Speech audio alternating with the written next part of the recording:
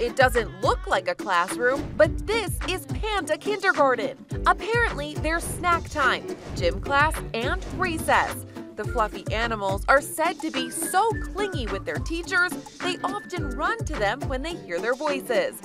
At feeding time, they come from all directions, including out of trees.